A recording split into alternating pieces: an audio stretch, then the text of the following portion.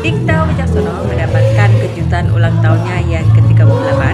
ketika dirinya menghadiri acara yang digelar oleh Cinemaku Pictures bertajuk Cinemaku Day 2024 Here Comes Fun.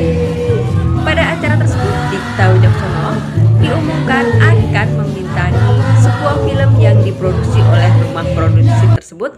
berjudul Bolehkah Sekali Saja Ku Menangis dan dipasangkan dengan Latu Korsika.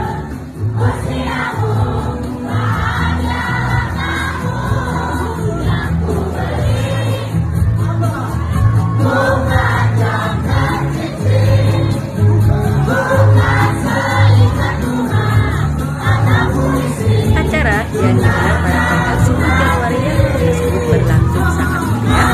dengan kehadiran para pemain dari yang akan